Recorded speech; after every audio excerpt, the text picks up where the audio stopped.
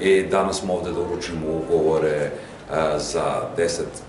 ja bih rekao porodica, za 10 pojedinaca koji su dobili podršku u obliku opreme,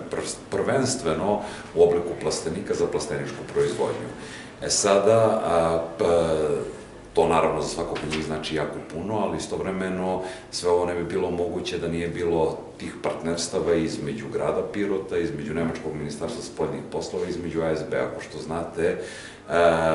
iznos sredstava za grad Pirot je nekih skoro 23.000 eura, od toga nekih desetak posto učestvuje grad svojim budžetom, Ministarstvo spoljnih poslova svojim budžetom, ASB svojim budžetom, tako da hoću reći da to zajedničko partnerstvo na više nivoa je rezultiralo ovim današnjim rezultatom da 10 ljudi dobija opremu. Ja mislim da je plastenik jedan u, u proseku oko 2,5 do 3.000 eura je na kraju e, izašao i da je veličina oko 100 kvadratnih metara.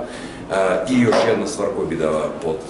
podvučem, ovo nije nešto što se dešava samo u Pirotu, dešava se istovremeno i e, u čitavom regionu. Pirot je samo jedan od gradova ali istovremeno jedan od redkih gradova, pošto nije bilo mnogo gradova, ne samo u Srbiji, nego i u regionu, spremno da učestvuju u ovakvim programima. Tako da, sva zahvalnost gradu, sva zahvalnost ljudima koji su hteli da učestvuju u programu i sva zahvalnost timu koji ovo guruje.